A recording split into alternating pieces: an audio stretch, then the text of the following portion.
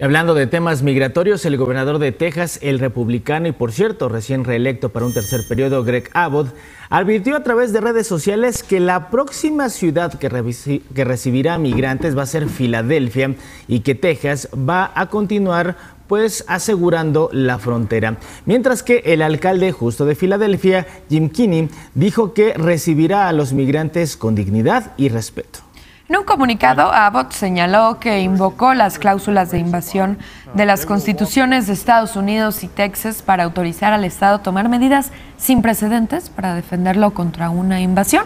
Esto en alusión a la llegada de migrantes. Desde abril, el Estado, Texas, ha enviado a más de 13 mil migrantes a distintos lugares gobernados, por cierto, por demócratas. El gobierno de México rechazó las medidas anunciadas por el gobernador de Texas, señaló que la aplicación de leyes migratorias en Estados Unidos pues solo es facultad del gobierno federal.